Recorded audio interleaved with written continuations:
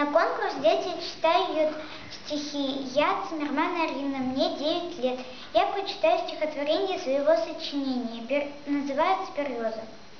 Жила береза на берегу реки, жила она спокойно, тридцать лет без бед. Но вот настала война, осталась береза одна.